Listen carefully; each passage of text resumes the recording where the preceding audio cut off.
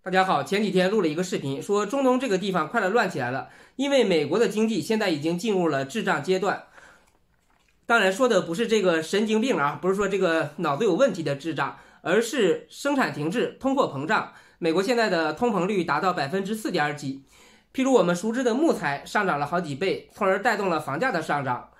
嗯，包括油啊，对吧？包括玉米啊等等都在上涨啊。同时，美国超发的资金呢，进入了大宗商品领域啊，焦炭、煤、铁、钢材、小麦、玉米、大豆等等。那么剩下的呢，美国就是要把油价推起来。其实过去啊，美国在中东打的战争，主要不能说是控制石油，而是说他要收割全世界之前啊，要把这个油价推高到顶点。譬如零八年。对吧？美国在叙利亚那里呢也搞了事情啊，奥巴马也在那搞了事情。那一段时间，全球油价也涨得很高啊，好像是一二年还是一三年左右吧，这个油价才下来的，对吧？那段时间的油价也是非常高的啊。那么把油价也推上去的话，这样的话呢，世界各个国家呀就被动的被美国输入了通胀，因为任何国家你都要买这个粮食吧，要买石油吧，啊，要买这个铜、铁、铝、铅等等。都是要买的，而且这些商品啊，买的数量都是非常大的，对吧？虽然可能一斤钢啊不是很贵，但是哪个国家买钢材啊，买小麦、买玉米，那都是几十万吨甚至几百万吨的，对吧？这几百万吨下来，那个数量啊也是非常非常大的啊，数额是非常非常巨大的。那么美元呢，作为全球的交易货币。啊，那么国际各个国家都需要这个东西啊，所以你就要花大量的价格去买这些东西啊。呃，其实啊，当年啊，这个中东的我们熟知的啊，这个阿拉伯之春呢，就是对吧？当时啊啊，零八年经济危机之前，美国呢把这个全球的物价给推高了，然后尤其是小麦价格变得很高啊。呃，中东的很多国家，譬如埃及等等，非常的依赖小麦啊换大饼养活本国的人口。那小麦价格突然涨到很高，对吧？这个粮食呢就开始紧缺呀，然后，呃，人们的生活支出主要就要填饱肚子，那其他的支出都要缩减。再加上这个国家呀要买这个铁呀、钢啊，要买日常的工业用品呢，价格也飙涨，外汇储备持续的外流，所以经济出现了巨大的动荡。所以呢，零八年的这个阿拉伯之春呢，自然也就是必然的了，它都是零八年经济危机的一个结果。呃，经济危机之后呢，对吧？这个很多国家都会社会动荡的啊，国内各个阶层啊等等都非常的不满，失业率飙升。呃，美国也经历了几轮的经济危机啊，但是每一轮经济危机很快它就会调整过来的，究其根本，对吧？就是把它内部的危机转移出去了，由外部的国家去承接。所以呀，对吧？这个以色列啊和这个巴勒斯坦打起来呢，自然就是。为了美国现在戳破全世界的资产泡泡沫，进一步的提高油价，从而把美国国内的危机转移出去，拉开了这么一个序幕。呃，我看国内的很多分析呀，对吧？这个内塔尼亚胡啊，为了保住自己的权位呀，啊，因为他要失去了阻隔权呀，等等啊，为了保住权位，所以发动战争啊，等等，这也许是一个原因，对吧？但这并不是主要的原因啊，主要的原因呢，其实还是美国在背后操纵的。呃，因为美国呀要开始转嫁危机了，因为以色列啊其实就是美国在中东定的这么一个蝎子。呃，以前我看过很多呀吹以色列的文章，对吧？前几次中东战争，以色列打了多少多少，但是你要清楚，前几次中东战争啊是建立在美国包括欧洲啊，尤其是英国对以色列全力支援，而对中东国家等等进行大面积封锁。这个基础上才实现的啊！当然，这中东国家呢，这个军事啊、科技啊发展的并不是那么好。那么以色列能够得到大量的外部的支援啊，同时中东的这些国家呢，又都被美国给封锁住了，那以色列啊就有天然的优势啊。呃，这个就不详细的说了吧。那么其实目前战争的情况是比较惨烈的，看了很多的视频呢，对吧？譬如有大楼轰一下子就被炸塌了啊。目前这个巴勒斯坦呢，已经死了六十多人。受伤三百多人，其中有很多都是孩子啊，都是平民。其实包括他炸的那个大楼啊，也是一个平民的大楼。也就是说，以色列其实是悍然的对平民下手了。这背后，对吧，有着非常强烈的人权的问题啊。这个一贯讲人权的西方国家，似乎对巴勒斯坦的人权视而不见了，对吧？对这个中东穆斯林的人权也视而不见了。其其实，在战争之前啊，在以色列这个国家内有很多的阿拉伯人的，有很多的穆斯林的啊，因为以色列这个国土呢，本身啊就是从巴勒斯坦，也包括约旦等等这些地方呢抢过来的，对吧？嗯，在一九四六年啊，巴勒斯坦的国土啊，其实是现在的五六倍大啊。呃，从一九四六年到今天啊，巴勒斯坦呀已经失去了几乎五分之四的国土了。也就是说，百分之七八十的国土已经没有了，对吧？这都哪儿去了呀？都被以色列给占领了嘛？如如果你说这不叫侵略，呃，那什么叫侵略呢？对吧？而且这一次啊，以色列啊，对吧？使用了杰姆炸弹啊，以四十五度角精准攻击楼体最薄弱的部分。那楼体最薄弱的部分呢？这个飞行员啊，显然是，对吧？经过了精密计算的啊。呃，也许是是在地面塔台上，或者是指挥部门，对吧？会给飞行员发这个信号的，你往哪个方向或者往哪个位置去发射啊相关的炸弹等等啊。也就是说呀，巴勒斯坦在以色列面前显然是不行的。如果没有外部的支援的话呀，仅靠巴勒斯坦显然是对抗不了以色列的嘛，对吧？不管是经济上的、科技上的啊，包括其实国土面积上的代差已经是非常非常大了啊。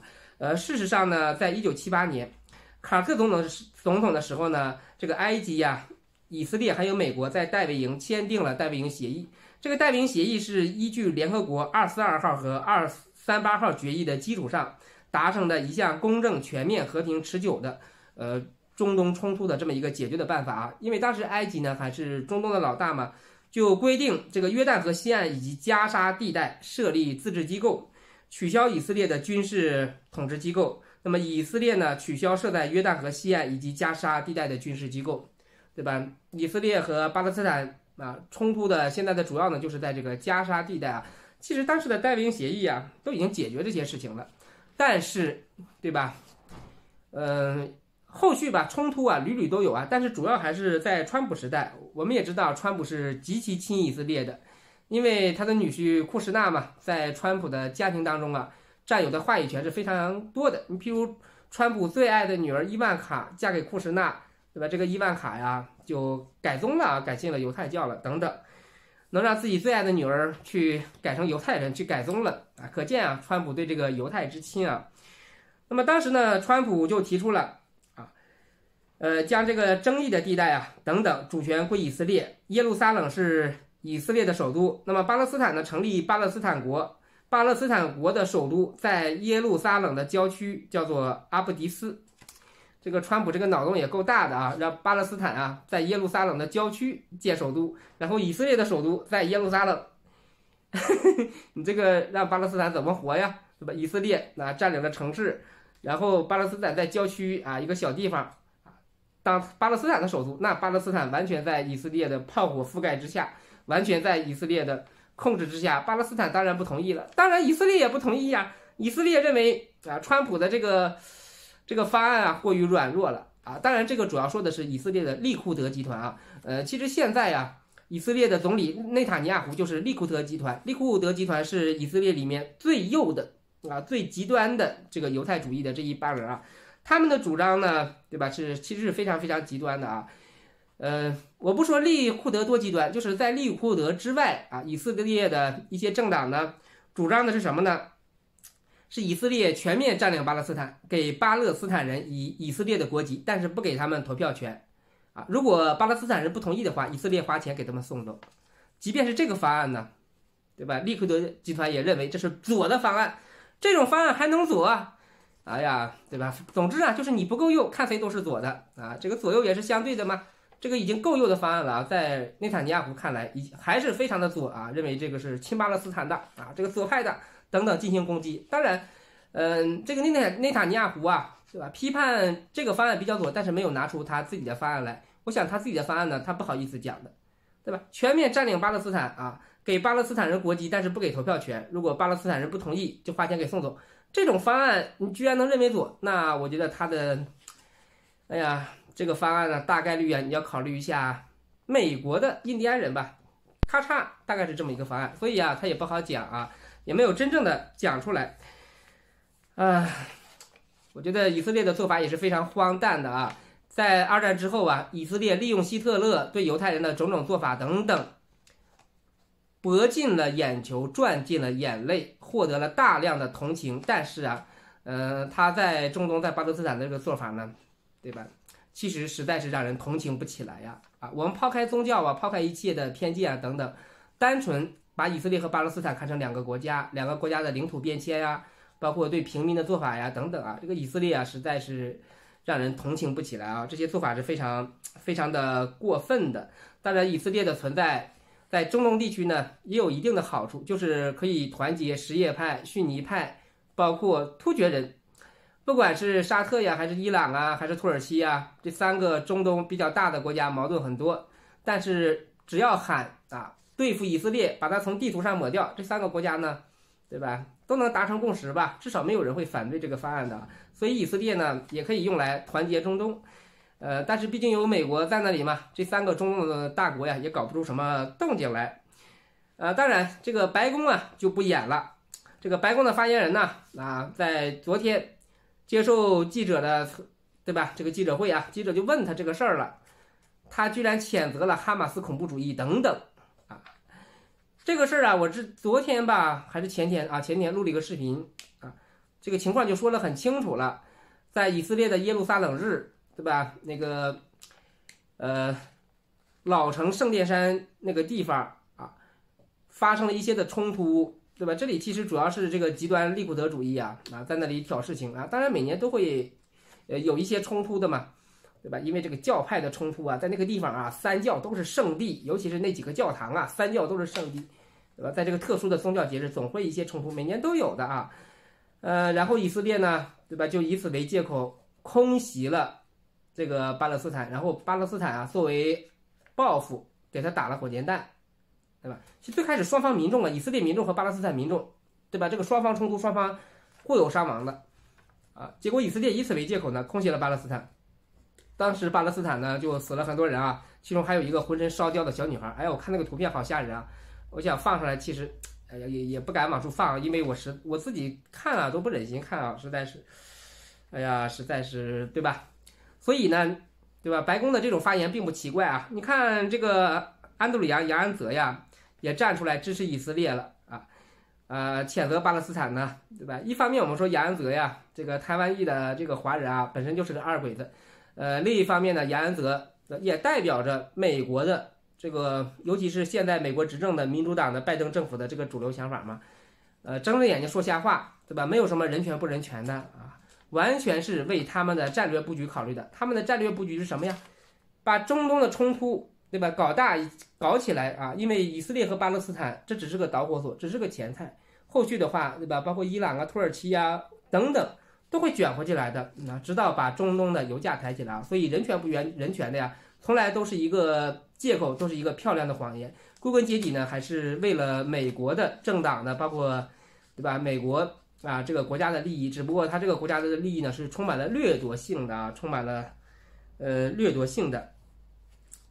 那好了吧，今天这个视频就说完了吧，对吧？主要啊说一下以色列和巴勒斯坦的冲突，但是主要还是前天那个啊大前天那个视频啊。哎呀，这个冲突是一定会有的吗？对吧？本质呢还是要抬高油价啊，因为美国现在国内都已经滞胀了，通货膨胀，生产停滞，这种情况下，对吧？一定是抬高大宗商品的价格，抬高油价，抬高粮价。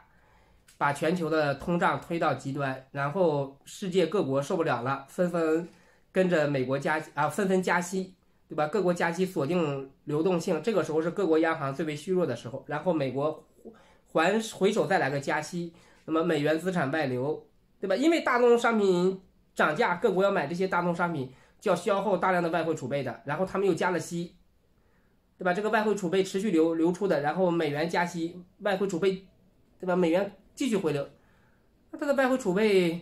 可能就严重不足了呀，甚至很多国家这个国内债务就要爆的啊。首先要爆的，我看印度啊，印度有一点二万亿的这个外债呀，占 GDP 的百分之五十，这个规模是庞大的啊。